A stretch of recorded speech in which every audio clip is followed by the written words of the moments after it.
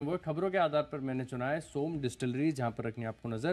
क्योंकि लगातार अगर आप देखें तो स्टॉक में मैं देख रहा था कि बड़ा रिबाउंड आपको देखने को मिला है। राइट्स इशू की खबर आई थी, वहाँ से अगर आप देखें तो स्टॉक में ऑलरेडी सिग्निफिकेंट अपसाइड आ गई लेकिन बड़े कॉन्फिडेंस की बात ये होगी कि इतने ऊँचे भाव पर भी प्रोमोटर्स खुद इस स्टॉक के अंदर कर रहे हैं। खरीदारी प्रमोटर्स ने जो है खुले मार्केट के ज़रिए साढ़े दस हज़ार शेयरों का जो है अधिग्रहण किया और लगातार इससे पहले भी हमने देखा है कि हफ्तों में अपडेट्स आती रहती है कि स्टॉक लगातार चलता जा रहा है, लेकिन प्रमोटर्स की तरफ़ से खरीदारी हो रही है।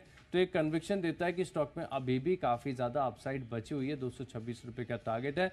दो सौ चौदह रुपए का आप लगा लीजिए स्टॉक लॉस इसको रिव्यू भी करके देखेंगे। हो सकता है कि 226 तक के जो लेवल्स हैं, ये भी स्टॉक में पार हो जाए। दूसरा स्टॉक है मेरे